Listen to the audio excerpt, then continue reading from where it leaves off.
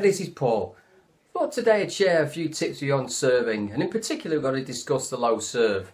So what I've got is my little diagram of a court, and I thought we'd just talk through uh, why we use a low serve, where we should uh, serve to, and what little tips we can use to improve your low serve, and in terms of direction and possible responses to it, rather than the actual technical side of it.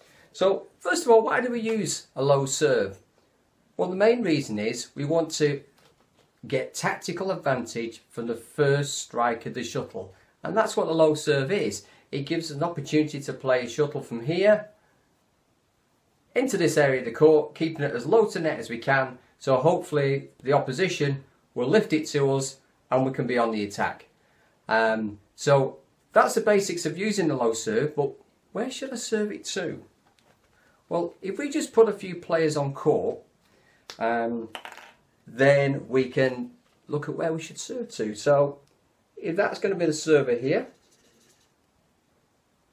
and we're going to have my partner here, we've got the player returning serve here, and we've got their partner over here. Most of the time, a lot of players, especially intermediate level, all they consider is getting the serve in play. Well, there's a little bit more to it than that. It's not just about get it somewhere along that line. We can do better than that. So let's just walk through the, the, the better areas to serve to. Most of the time, it's actually better if we can serve it into this zone. Why will that be, you think? Well, let's just have a quick think about that. If I serve it into here, the player returning that serve has got to go wide from inside the court to outside if they're going to try and hit those tram lines. It's a higher risk shot. If they don't have control of the shuttle, then they're going to hit it out. So by playing it into this zone, it's going to be a lot harder to keep the shuttle in. It's fine, you say, great. What happens if they hit down the middle. Well, that's okay. They're in play. This player here can see a straight shuttle coming at them to play off it. So the most important thing is we want to try and get it tight into this zone. And by doing so, we're trying to gain the first tactical advantage. So what can we do to make it a little bit more difficult for guy or girl returning that serve to play a good return? Well, the first thing we should recognise is we have to be technically competent to serve. If we are very good at serving and keeping it extremely low and tight to this front line, it's more difficult to return the shot. If you tend to hit it a little bit hard, it's still a rising shuttle coming over the net, then it makes it a lot easier for this player to intercept. So if the shuttle's landing in this zone, rather than the front line, then we're making it easier for them. And the chances are they can be hitting the shuttle downwards. So the tighter we get to the line, the better. And what it also means is as that shuttle is just getting to the crest of its curve, it should be just about going over the net. So as soon as it's reached the net, it's at its zenith, and then it's dropping down. So ideally, We've got to practice a low serve so we get it as tight as we can into this area. What happens if we've got a player who likes to stand very close to this line and be very, very aggressive?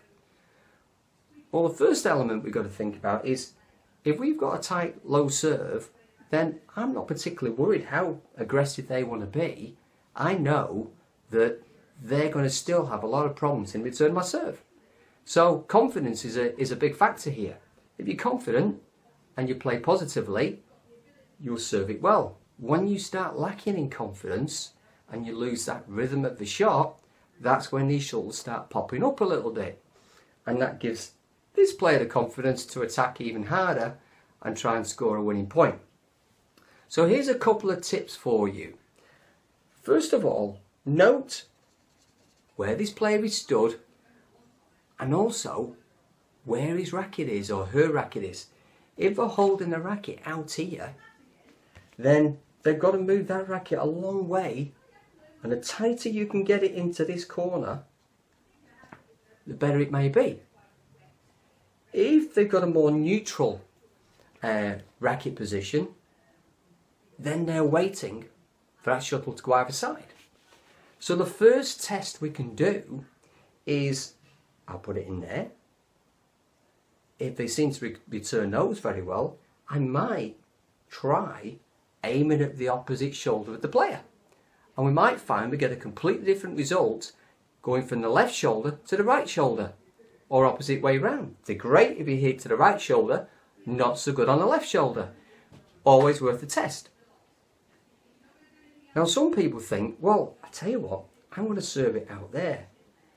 And perhaps a one-off will be very, very good tactically. The pros and cons of doing this, so let's just run through them. If I've got a left-handed partner, the most likely response from the shuttle out here is to go into what most consider to be the backhand corner. So if my partner's left-handed, then they're playing to their forehand, not the backhand. So I may want to use this as a tactic, recognizing that that might be the response that someone will play. So I'm going to use that. If they start playing to the mid court, then my partner, is still left-handed, can cope with those quite adequately. But I've moved them away from here. And I've moved them over there. Now it doesn't mean to say they're going to change their position when they're standing, but it does mean I'm making them think that I can now go either side. And it gives a little bit of hesitancy. They're not sure which way I'm going to go and that is to my advantage. After all, I'm the only one who knows where I'm going to put the shuttle.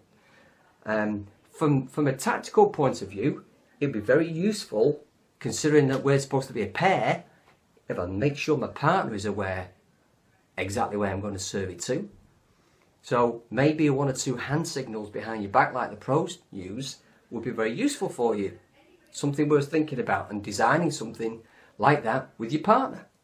So Take into consideration, we've now got an opportunity to create hesitancy by going in one corner or the other. One of the reasons why a lot of times we don't like this area is basically it opens up the angles. Now I've got a straight shot into most people's backhand corner. Now I've got exposure to this zone. Bearing in mind, I'm over here. Even if I move there after I've served. I have still got to cover a lot of ground to be able to take shuttles in this zone. It also opens up potential cross-court replies.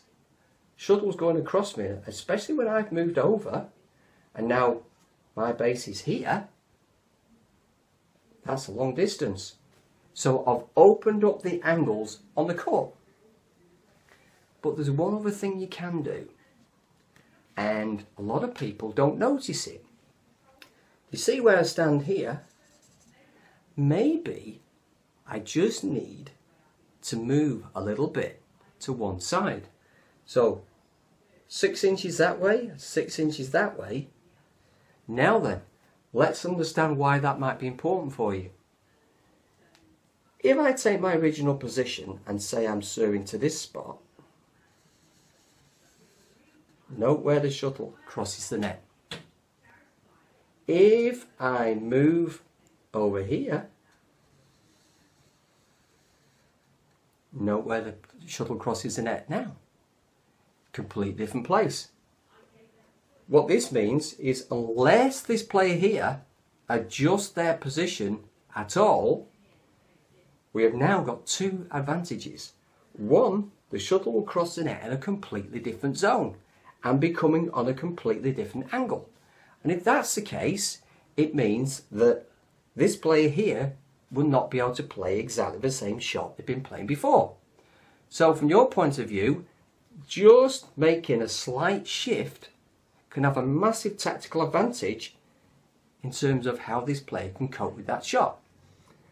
The other thing to consider also here is that if I'm going to flick, this opens up this corner a little bit more, makes it a little bit easier to hit into this zone and I'm going to flick serve rather than a straighter shot.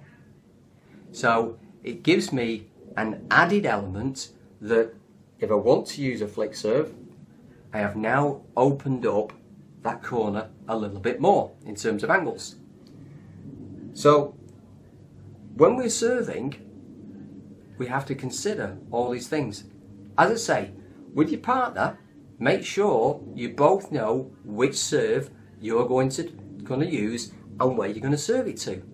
That way, the element of surprise is only on the player returning the serve, not that player and your partner, who's also got to respond to any returns. So, very quickly to round up, this is the kind of zone that we are going to be trying to hit most of the time. But there are tactical reasons where we may switch or we may move along the line a little bit because we find that a different angle gets a weaker response. And that's your job as a server is to try and find those weaker opportunities. We don't expect to get a, an easy point, but we are looking for tactical advantage where a weak return may give us an opportunity to set up a scoring opportunity. That's the tactical advantage. Ideally, we want this serve dropping in as close to that front line as we possibly can make it. What we don't want is it going too high and we don't want it going back here into court. So there you go, a very, very quick roundup, very simplistic on tactical serving and where to serve the low serve in badminton. I'll see you again in another video.